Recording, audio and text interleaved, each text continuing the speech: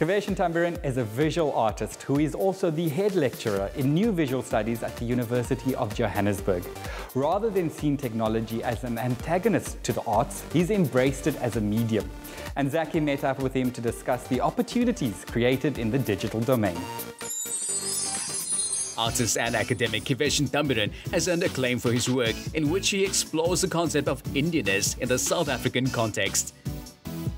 Personally, I find creativity a form of meditation, and that is why I constantly surround myself with creative people. My fix today is from musician and visual artist Kiveshan Thumbiran, who has agreed to take time out from his busy day to meet me here to tell me what fuels his passion and creativity.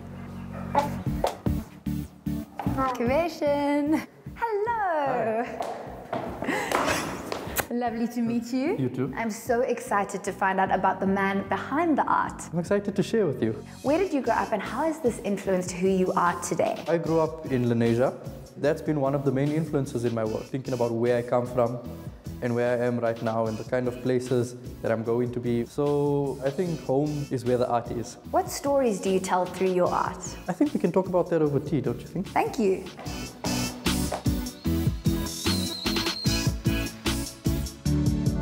Kiveshan, what stories do you tell through your art? It's about my life, my experiences here in Johannesburg as a young Indian man. And I try to combine that with my religion. So Hindu mythology becomes one of the visual factors in my work. What did you study, why, and how did your parents react to such an unconventional career choice? I decided to study visual art because from my days in high school, I knew I was not meant for a job where I sat behind a desk like most of my friends. And with regards to my family, visual art has been something that's been a dream in the family itself.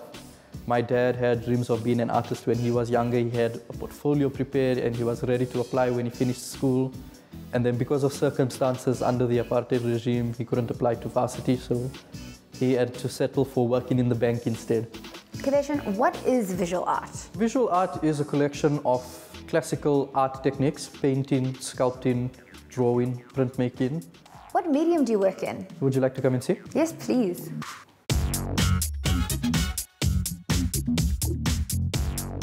This is where I began in third year when I was allowed to make my own art.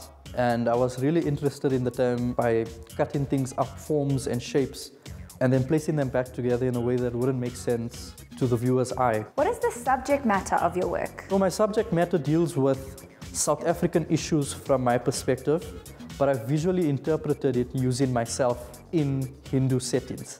So scenes from famous Hindu stories like the Ramayana, Mahabharata, I use those stories as visual aids to creating work that deals with my life as a South African. If you look here, this was sort of my first transition into the digital medium. I started looking at how I could enhance these animals in my own vision of it, as though I was some sort of mad scientist, giving a mouse a metal arm for better digging, giving a mosquito a blood bag so he can store a meal for later.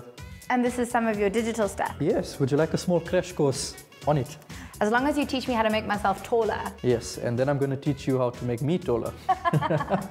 so we're just going to splice some objects together. All we're going to do is we're going to simply drag this onto our landscape and paste it. So we've got this little dragon dude here, and we're just going to remove his background. And then we're going to paste him as well into our landscape.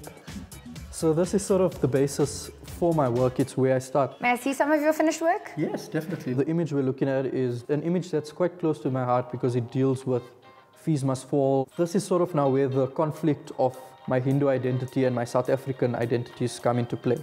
Because as a Hindu child, we're taught that knowledge and art, books are all sacred objects. They belong to the goddess Saraswati. At the same time, we want the higher ups to listen to our words.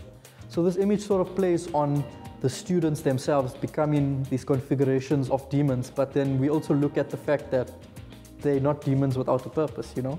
And on top is sort of my interpretation of the goddess Saraswati. Obviously, I'm playing her in this role. And you'll notice that she's playing a sitar because I actually play the sitar. You're also a musician. Yes, I play the sitar, I play the harmonium, and I do vocals. You're completely self-taught. Yes, I grew up with my mother's parents and I was my grandfather's little minion. He would teach me prayers and songs and bhajans and all of these things. And he passed on in 2007 and music has been all that reminds me of him. I'd really love to perform for you. I've got a friend coming over for a small practice session. Would you like to listen to us? I would be honored. Thank you. बोलो कृष्ण कन्हैया लाल की जय श्याम रे घन श्याम रे श्याम रे घन श्याम रे।